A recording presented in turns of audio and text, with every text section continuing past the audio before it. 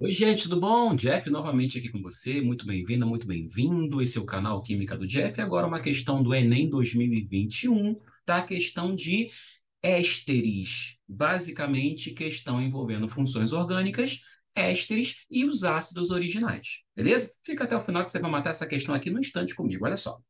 Com o objetivo de proporcionar aroma e sabor a diversos alimentos, a indústria alimentícia se utiliza de flavorizantes Flavorizantes, em geral, são ésteres, tá? São substâncias que imitam tanto o sabor quanto o odor de outras, tá? Então, quando você tem lá uma balinha, um docinho escrito aroma artificial de banana, sabor artificial de uva, pode ver ali que deve ter um éster na composição desse, desse docinho que você está experimentando.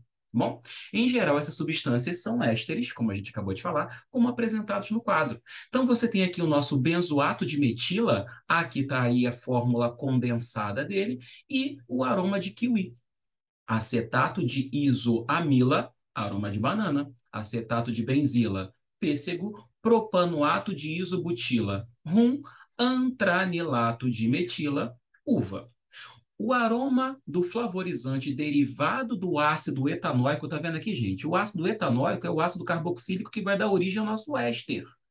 E a gente sabe que para fazer a nomenclatura do éster é só pegar o nome do ácido, trocar o finalzinho aqui, ó, que é ico, por ato. Então vira etanoato.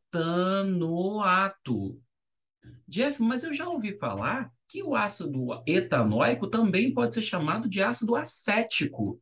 Sim, e o ácido acético, vamos colocar aqui em cima, acético, ele vai virar para a gente o acetato. Troca íco por ato sempre, né? Acetato. Então, se eu quiser falar de um éster derivado do ácido etanóico, esse éster vai ter o nome etanoato ou acetato. Não é benzoato. Benzoato vem do ácido benzoico.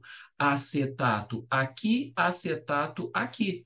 Propanoato vem do ácido propanóico, três carbonos, e não do etanóico. E antranilato vem de um ácido derivado do anel aromático com a amina pendurada. Né? Você está vendo aqui C6H4? Anel aromático. Tem um NH2 pendurado, COOH. Então, o antranilato seria basicamente derivado disso aqui, ó, benzeno. Aí tem um NH2, posição orto metal par, ele indicaria C dupla O, O, e aqui o nosso CH3. Esse seria o antranilato certo? Não é o que nos interessa. O que nos interessa é o etanoato. Então, são esses dois. Só que, além disso, ele tem que ter cadeia carbônica saturada.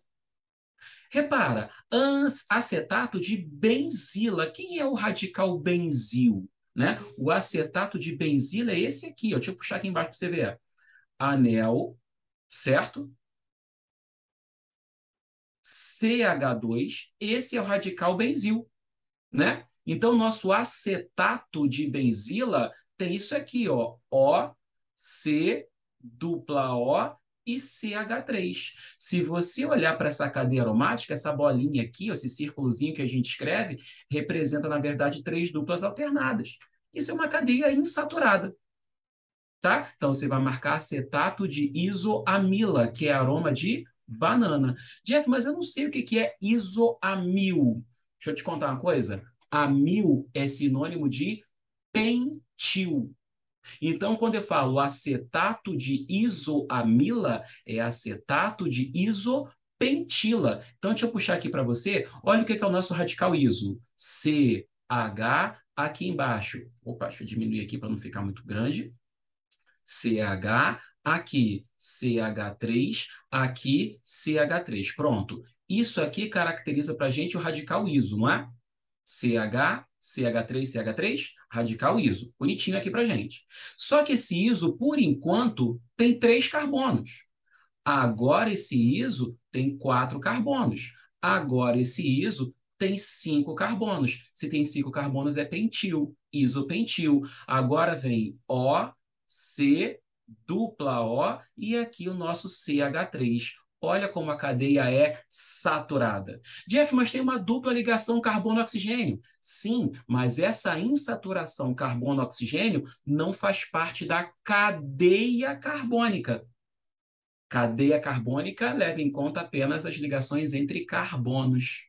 Então a minha cadeia, de fato, é saturada. Gabarito letra B de bola. Beleza? Curtiu essa resolução? Entendeu direitinho por que, que não podem ser os outros e o que, que significa o ISO?